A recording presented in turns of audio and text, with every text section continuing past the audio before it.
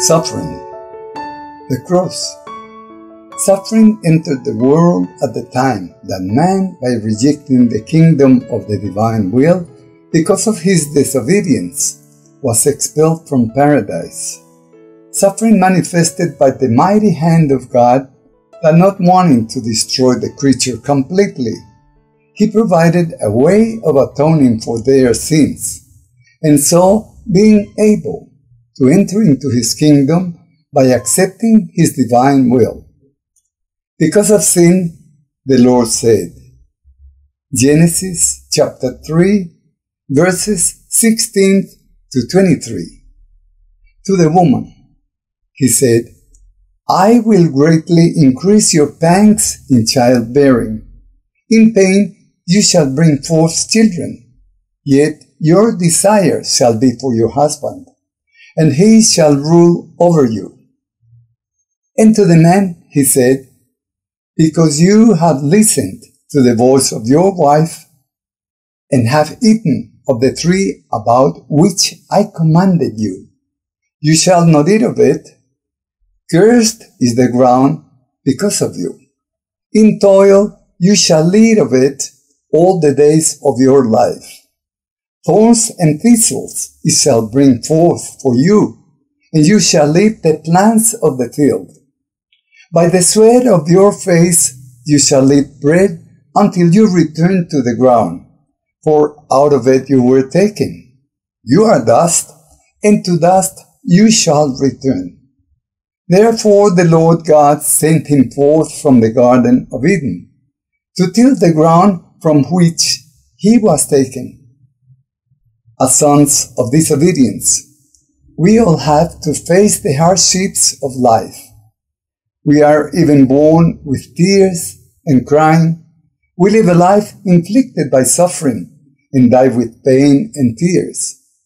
All human beings by nature feel disgust for pain, and we are bothered by what we don't like and reject the suffering because we want to enjoy life and accumulate wealth for our well-being.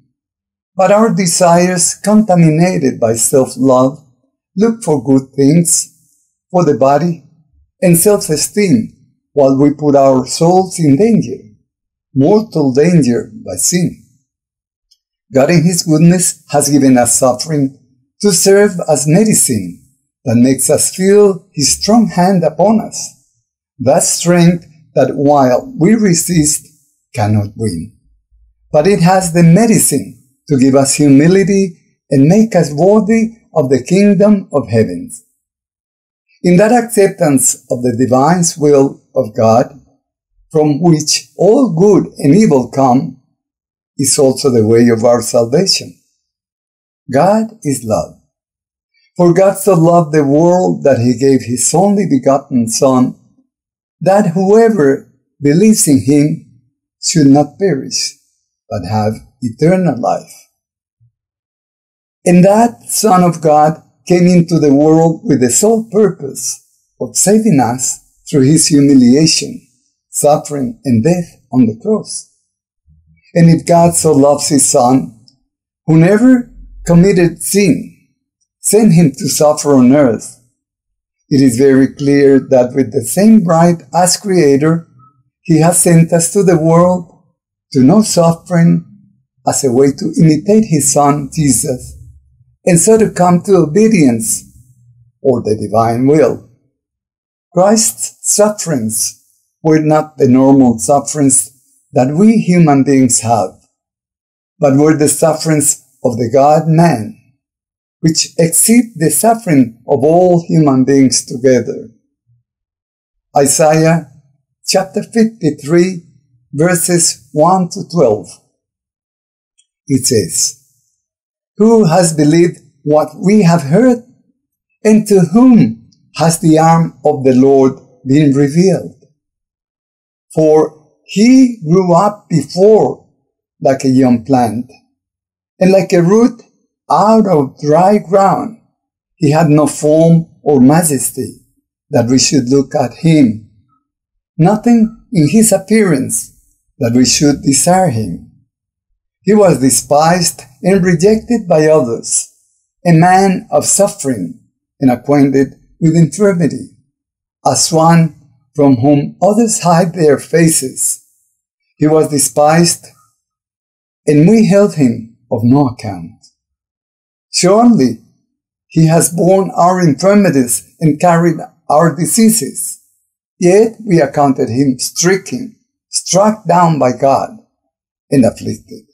But he was wounded for our transgressions, crushed for our iniquities. Upon him was the punishment that made us whole, and by his bruises we are healed. All we, like sheep, have gone astray. We have all turned to our own way, and the Lord has laid on him the iniquity of us all. He was oppressed and he was afflicted, yet he did not open his mouth. Like a lamb that is led to the slaughter, and like a sheep that is before his shearers, is silent, so he did not open his mouth. By a perversion of justice he was taken away. Who could have imagined his future? For he was cut off from the land of the living, stricken for the transgression of many people. They made his grave with the wicked, and his tomb with the rich, although he had done no violence, and there was no deceit in his mouth. Yet it was the will of the Lord to crush him with pain. When you make his life an offering for sin, you shall see his offspring, and shall prolong his days. Through him the will of the Lord shall prosper. Out of his anguish he shall see light, he shall find satisfaction through his knowledge. The righteous one, my servant, shall make many righteous, and he shall bear their iniquities. Therefore I will allot him a portion with the great, and he shall divide the spoil with the strong, because he poured out himself to death, and was numbered with the transgressors.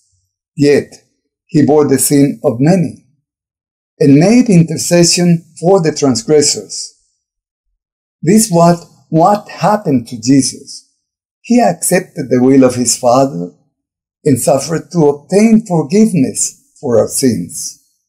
In the same way, his blessed mother Mary accompanied Jesus in all his sufferings. Being immaculate and without sin, she suffered at the side of his son to become the martyr of martyrs. She suffered many sorrows during her life. Of those are outstanding the seven sorrows honored by the Holy Mother Church. They are first, the prophecy of Simeon, which came to this mother at the age of 15 with her newborn son in her arms, like a sword that pierced her heart because she had knowledge of the passion, agony, and death of her son Jesus before it actually happened. Second, the flight into Egypt. The Virgin Mary and Saint Joseph had to flee during the night with her little infant, who was already persecuted to death by King Herod. They suffered during the long journey and then in their life of exile as refugees in Egypt. Third, the loss of the child Jesus and his finding in the temple. This time the Virgin Mary suffered bitterly for the loss of her beloved Son, the light of her eyes. For three days she experienced the future bitterness that she would suffer after the death of Jesus. Fourth, the Virgin Mary meets with Jesus on the road to Calvary. Here the Virgin Mary joins the sufferings of Jesus during his passion Fifth, crucifixion, agony, and death of Jesus. Here our sorrowful mother, the Virgin Mary, in her soul suffers in parallel all the sufferings of Jesus, and she offers herself to the Father, united to his Son, as co-redeemer of the world. Sixth, Mary receives the body of Jesus when he's taken down from the cross. What deep pain experiences a sorrowful mother, seeing her son lifeless, torn by the fury of the passion that fell on him. The victim offered to the Father for the forgiveness of our sins. Seventh, Jesus is taken to the sepulchre. Our sorrowful mother suffers extreme pain. She would rather remain enclosed in that grave if possible.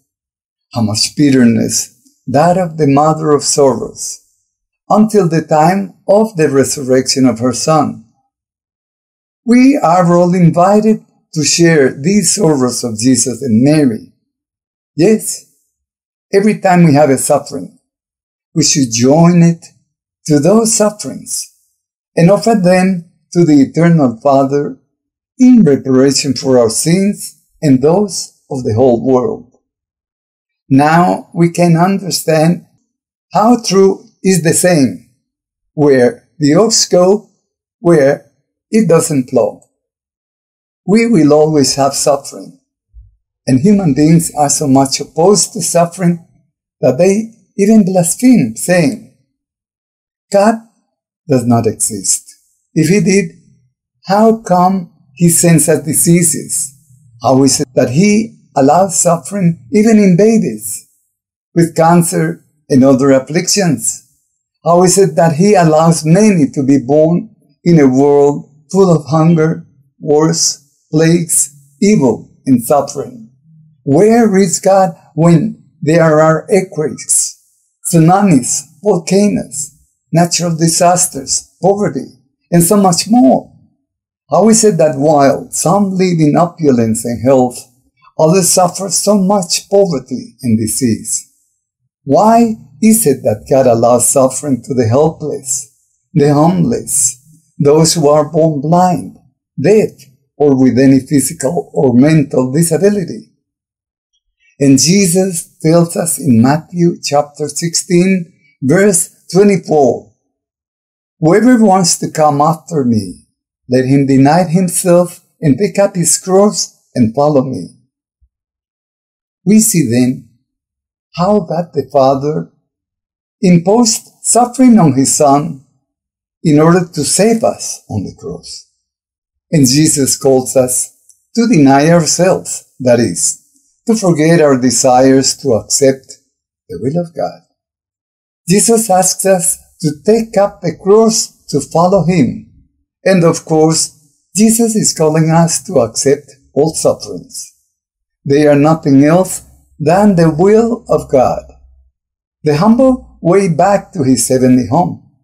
Our suffering is union with Christ when we accept it.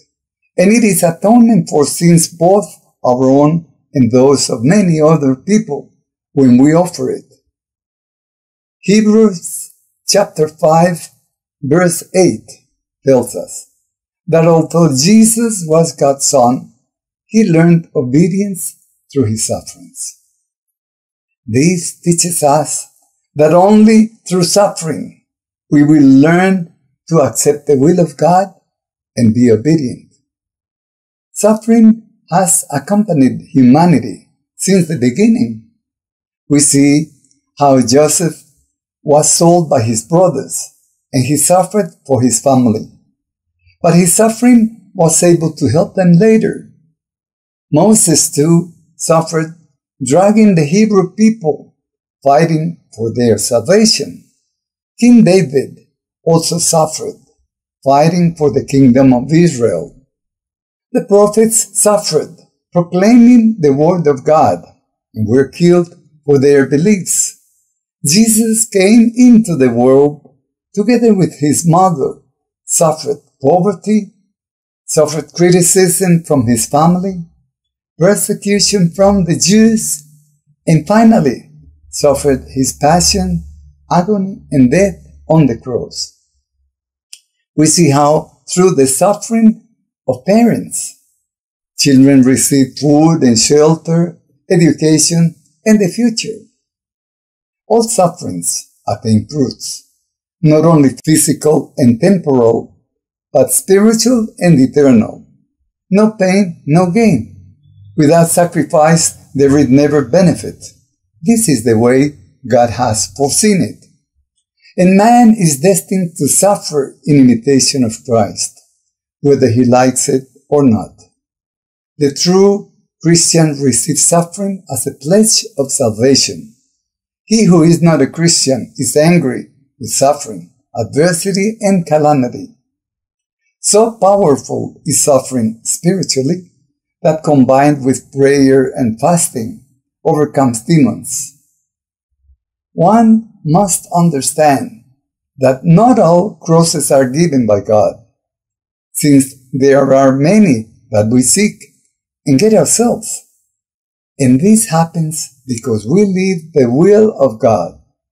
The sacrifice that we offer to God is only accepted on the cross that He gives us, through what is given to us by His will and not ours because many sufferings are not given by God, but we seek or find them, not on the cross given by His will, but on the cross given by Satan.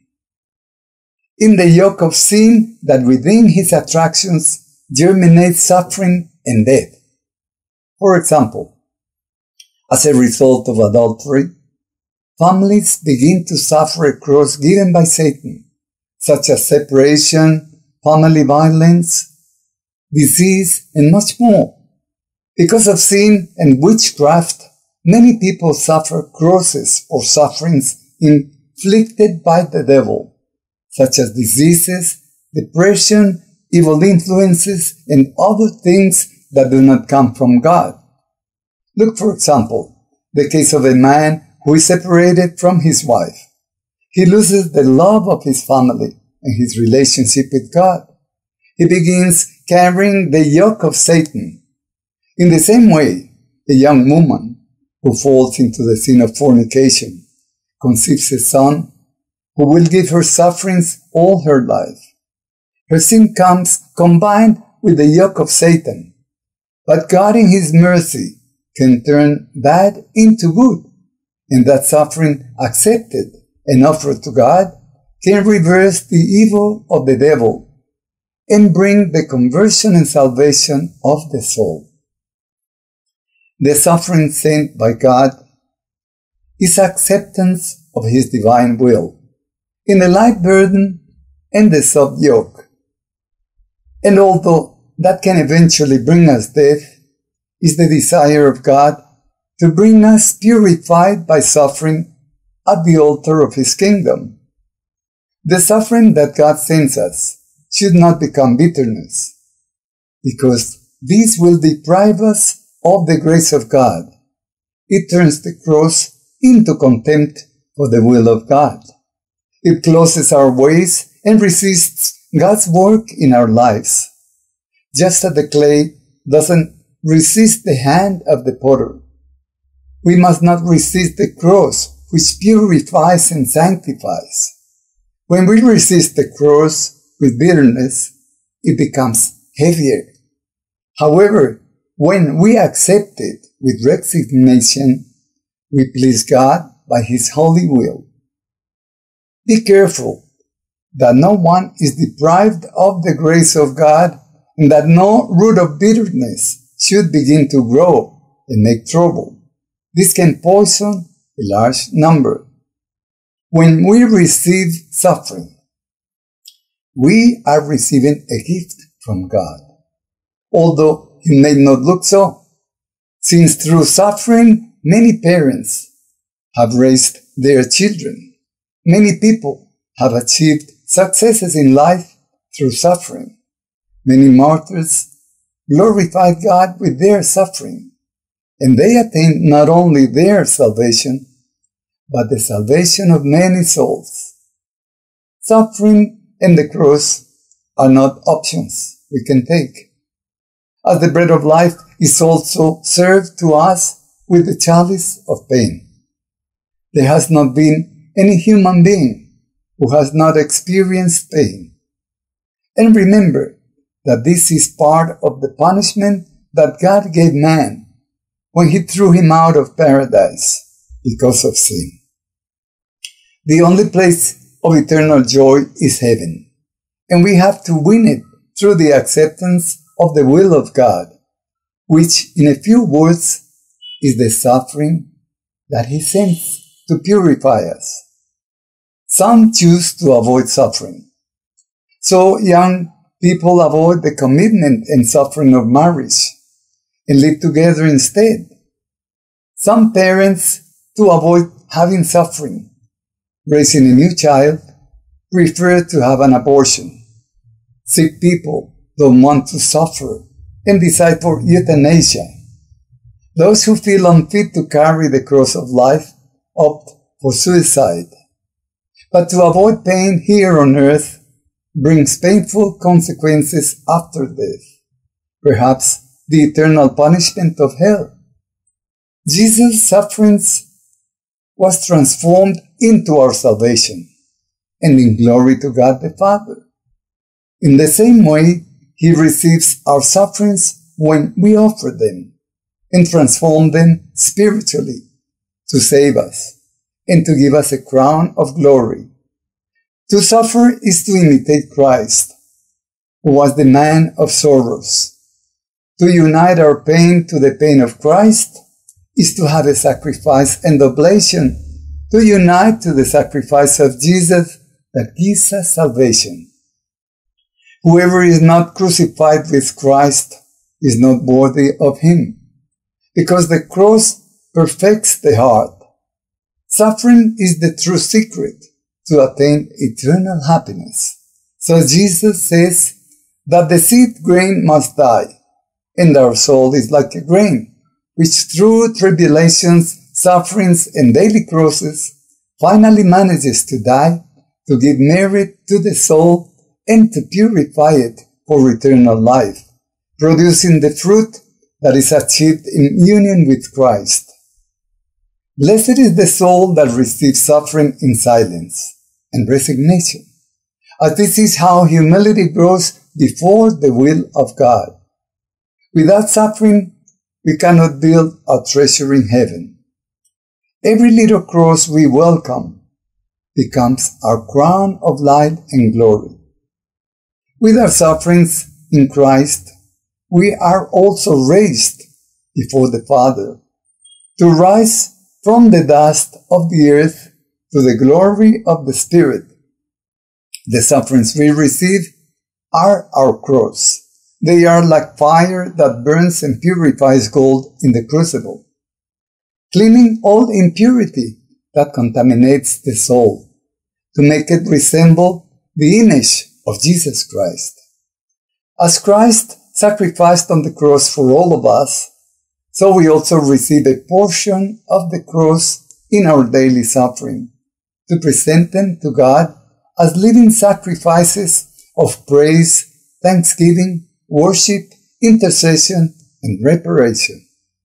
The shortest way to acquire the peace that comes from the love of God, inexhaustible source of virtues, is accepting all the tribulations, whether temporal or spiritual, infirmities, strokes of fortune, problems, and any adversity.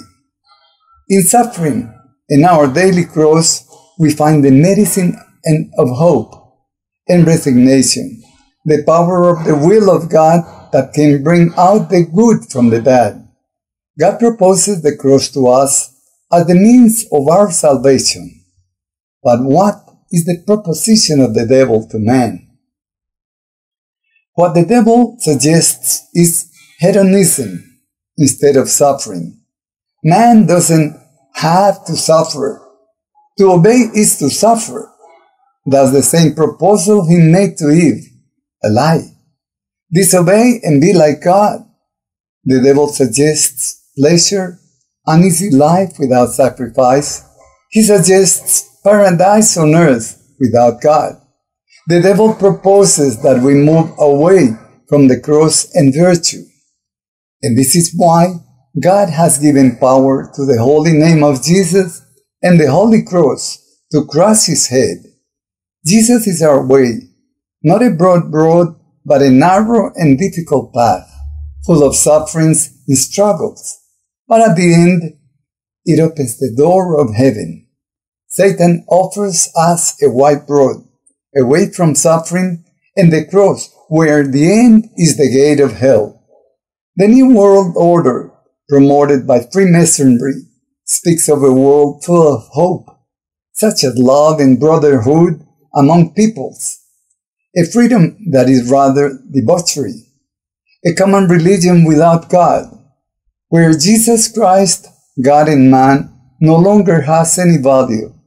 He's unequal as any of the prophets of other religions. This lie of the devil is a series of false promises that aspire to take away our faith in Christ and His cross, a new religion where the head will be the Antichrist and his God will be the devil himself. This is why we must keep ourselves alert. Let us bless the sufferings we receive to unite them to the sufferings of Christ and His Blessed Mother, because in them we have the promised salvation. Let us fast and do penance, because the times of tribulation are here with us. Let us eat the body and blood of Christ. Let us eat of His suffering, and together with Him Let's wait hopefully with joy for that final meeting of our lives with the author of creation. God loves us. Let us have faith. If you like this video, share it with your friends. Please give us a like and leave your comments. If you're not subscribed to our channel, please do so now. Help us to spread the word of God. God bless.